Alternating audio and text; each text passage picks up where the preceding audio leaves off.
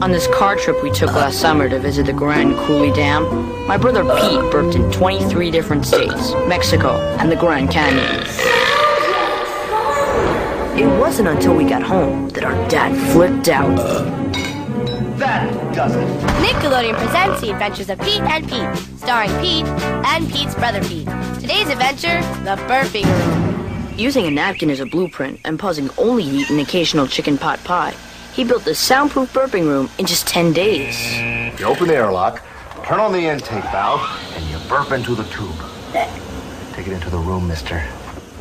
Pete had to spend most of his free time in the burping room, and he said he didn't mind. But after inventing 14 new kinds of burps, including the experimental grumbler you may have heard about, he got lonely and gave up.